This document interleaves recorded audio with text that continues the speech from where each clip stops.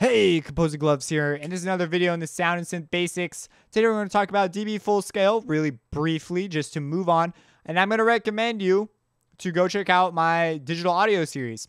If it's not up yet, go check out the DSP one. Eventually one day that'll be replaced and they'll both be up and it'll be great. So here we have my mixer.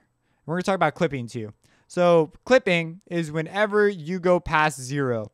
Now, what does this zero represent? Well, this uses in digital land, we use something called dB full scale. So we're representing the volume of our sound that we're recording with these uh, digits, with binary.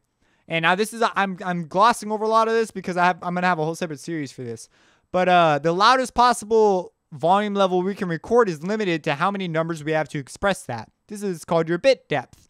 Now, the loudest possible one is called your decibel level full scale. So you'll see it as dBFS. I'm not going to talk about decibels like at all, really, in this series at least. Maybe one day I will, because they're kind of a, a, complicated topic. They're also the reason why things are sort of labeled the way they are and the numbers are where they're at.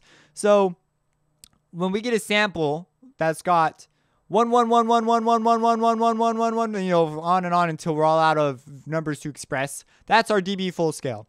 Now clipping is when you've exceeded the volume range you have for this. And what ends up happening is you have a whole bunch of samples in a row that are doing this. They're going, whoa, whoa, whoa, whoa, and there's just tons of ones, and they're all in a row, and it sounds horrible. It's called digital distortion.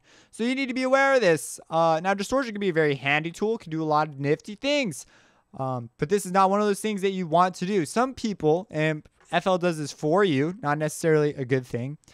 Uh, you have this thing right here. It's called a limiter or a compressor it will whenever something's approaching this maximum limit, it's gonna just like push it back down, like get get back down. And this is not uh, the greatest thing in the world. It's actually a bad thing. So you will end up distorting, and you won't know it because it'll turn it down. And this has this does a number of other things that you don't want. So you need to be aware of this uh, as you're doing this. So you want to avoid clipping.